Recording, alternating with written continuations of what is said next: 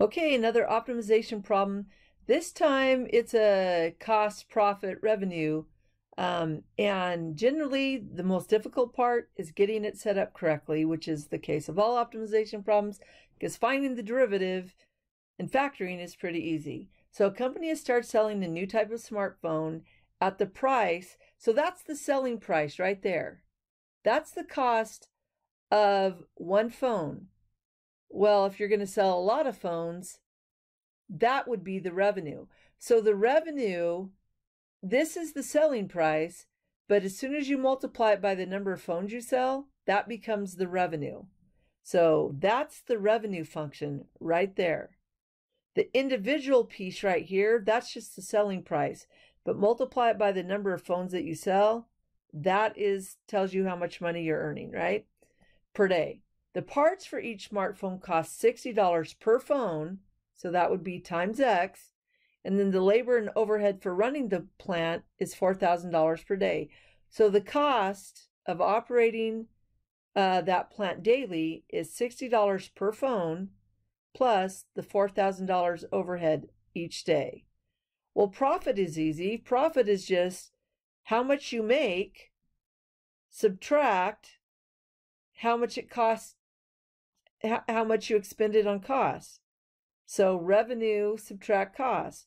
Well, the revenue is this. So when you multiply x times 130, you get 130x. x times negative 0.1x is uh, uh, subtract 0.1x squared. And then you have to subtract, this is the cost. So 60x plus 4,000.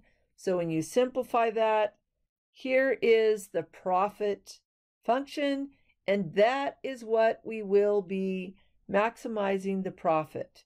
All right, let's go ahead and get started. So we know the revenue function, we know the cost function, and we found the profit function right here. So we did all of this stuff already. So now we take the, oops, we take the derivative of the profit function. So there we go. That's negative 0.2x plus 70. Ah, plus 70.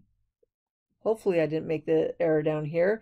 And then they both, because this is even, they both have, I'm going to factor out a negative, so then this would be a negative sign. There we go. Yeah, I didn't bring that x down.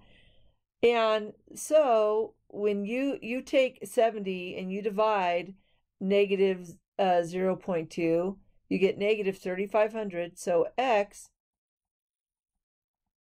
that's the number of phones that that that uh, manufacturing plant ha has to manufacture each day to make a profit.